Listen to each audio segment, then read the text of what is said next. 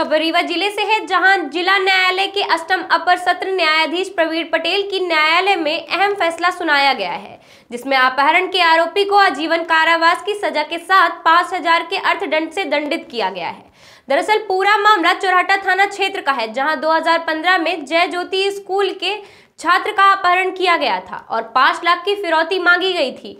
लेकिन तत्कालीन पुलिस अधीक्षक आकाश जिंदल और एडिशनल एसपी प्रणय नागवंशी की सक्रियता के चलते छात्र को सकुशल बरामद कर आरोपी को गिरफ़्तार कर लिया गया था।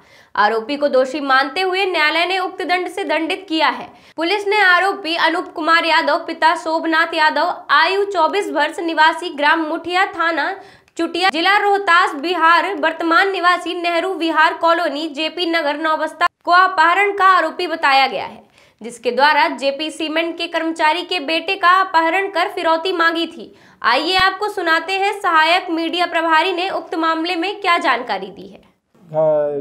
दिनांक 25 चार 2015 को एक बालक जो है, जेपी नौबस्ता प्लांट से ट्यूशन पढ़ के घर आया। उसके बाद घर से आने के बाद चला गया खेलने। उसके बाद जब देर रात नहीं लौटा तो उसकी माँ परेशान हुई कि क्या बात बालक नहीं लौटा। तो उसने अपने पिता को फ़ोन पति को फ़ोन करके बताया कि लड़का गायब है। तो उनके पिता जो हैं श्याम सुंदर।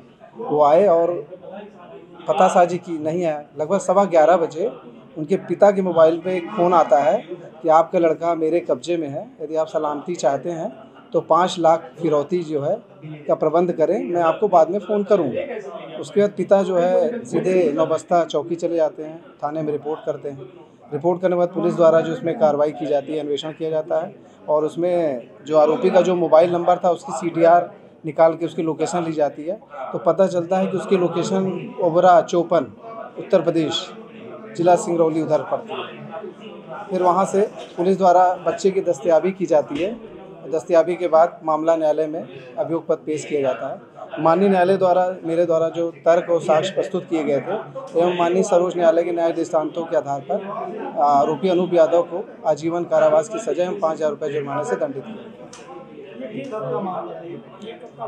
ये 2015 का मामला इसमें माननीय अपर सत्य न्यायाधीश प्रवीण पटेल पटेल जी द्वारा आरोपी को आजीवन कारवास में पाँच हज़ार रुपये जुर्माने से दंडित किया एक ही आरोपी थे अनूप कुमार यादव।